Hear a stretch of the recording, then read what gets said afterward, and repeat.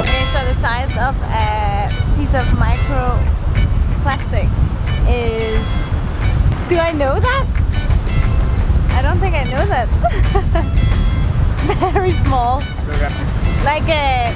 Like a... Smaller than my nail on my pinky finger. That small is microplastic. It's it's micro, so microscopic, I guess.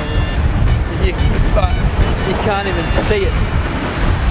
It's that small, and it's and it's every all through the ocean, and through washing machines and fucking everything that we do. So fish eat it, it gets into the fish, then we eat it because we eat the fish, and so we're eating the plastic pretty much, the microscopic plastic. That's far from ideal and we should fix this.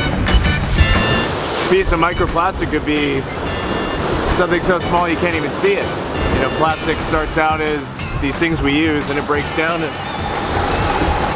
these little bits that uh, are as big as plankton and uh, we can't even see them. So, so that's, that's the biggest problem is it's, uh, it's really hard to clean up and they never go away. But I think if we all just are a little bit aware of what kind of plastic we use, uh, that it's not single-use plastic and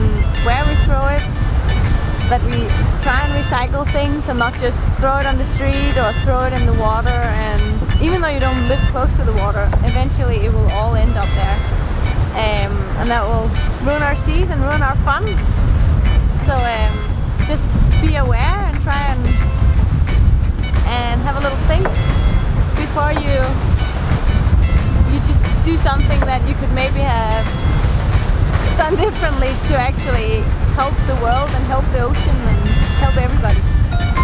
Um, yeah, there's a couple different uh, solutions. I mean, there's the Cora Ball, you know, which is a partner of 11th Hour, um, you know, which is used when you're doing your laundry to catch uh, microfiber, microplastic, and um, allow it to be upcycled, which is a pretty cool thing. But I think more than that, do with the manufacturing of, of these goods, and then on the on the smaller marine debris level, it has to do with reducing the amount of plastic that we use every day.